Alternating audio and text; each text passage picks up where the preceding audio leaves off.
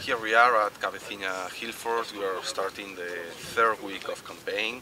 Results are starting to be quite interesting and the sun is with us. We have very good days, very good weather, so good days to start moving rocks and get into real archaeology.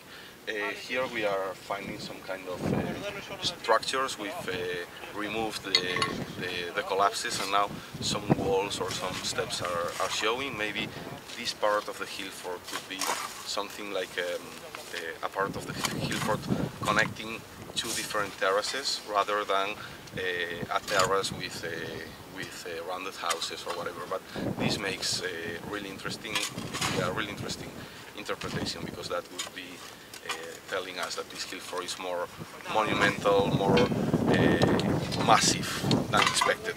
Okay, and later the other guys they are digging in the east part of uh, of the excavation area, okay, and they are just finishing to remove the last part of the soil that's covering the collapse and they will start again moving stones, moving rocks and structures will appear.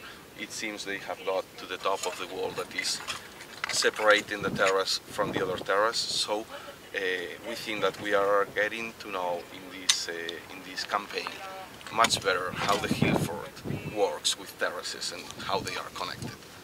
And that's it for now from Cabeciña. Uh, you can come to visit us whenever you want or follow the news in the social media. Thank you. Vale.